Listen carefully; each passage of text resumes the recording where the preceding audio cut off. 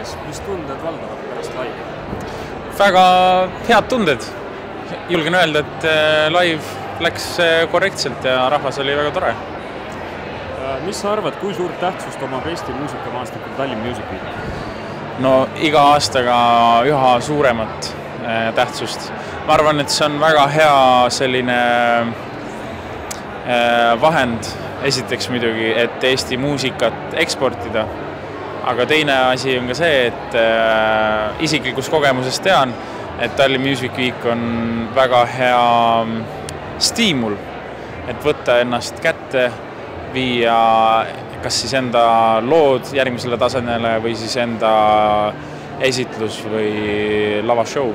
see on nagu, ma arvan, väga edasiviiv jõud mis on Eesti muusikaäris kõige karjuvam, karjuvamalt puudu? Eesti muusikaäris kõige karjuvamalt puudu. Võib-olla nii kurb, kui see ka ei ole, siis äh, publikut on päris vähe.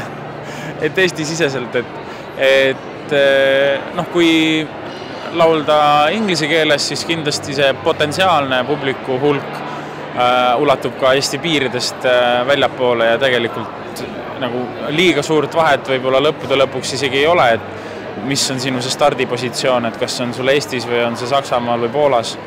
et äh, tihtipeale hea muusika ikkagi jõuab äh, nendele kuulajatele, kes seda kuulda tahavad.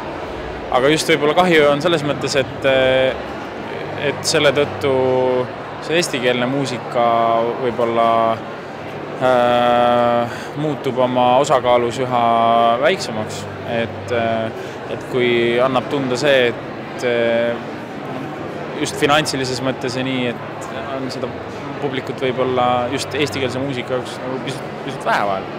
et peab lapsi tegema. keda soovitaksid kuulama minna Tallinn Music Weeki Eesti ja välisartistidest? nüüd sa tabasid niisugust kohta, et eh, mul, mul, ma isegi ei tea mitte midagi. ma tean, et kindlasti Aivar Experiment on väga äge Eesti omadest välismaa omadest ehm,.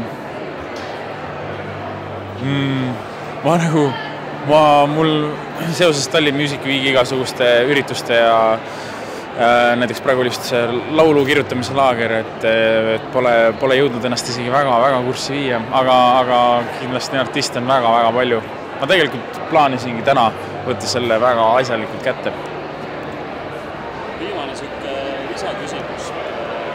Kui läks kakluseks, kas Tanel Padar või Hitler? Tanel. miks? mul on niisugune tunne, et äh, ta on vist viimasel ajal ennast päris hästi kokku võtnud ja teeb ju siin igasugust sporti, nii et ma Oti kohta ei tea, Ott äkki on ka kokku võtnud, ma ei tea.